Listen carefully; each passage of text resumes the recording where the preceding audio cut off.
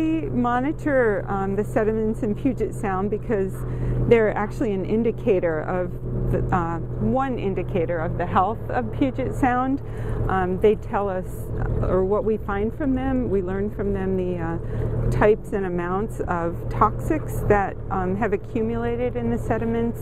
come down the, the rivers and streams and stormwater, and also have been discharged from the um, sewage pipes and the industrial um, discharge pipes.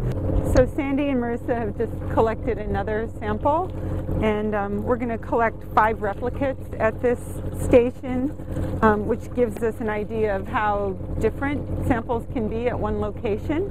um, the heterogeneity of an environment. So the reason we want to look at these is because the different numbers and kinds of animals that you find at a site can tell you something about the health of the community down there. Um, places where there's uh, a lot of species, a lot of different types of animals um, are usually healthier than others um, because the, the um, the environment can support a lot of different kinds of animals. Um, in uh, places that have been affected by pollution, um, we generally tend to find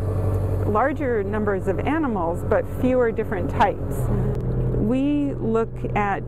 the health of the sediments at one point in time, and we also then go back and monitor at a later point in time to see if things are getting better in Puget Sound or if they're getting worse or if they're staying the same. So we want to look at change over time to see if um, we are uh, still causing problems or if we're actually putting solutions in place to uh, improve the health of Puget Sound.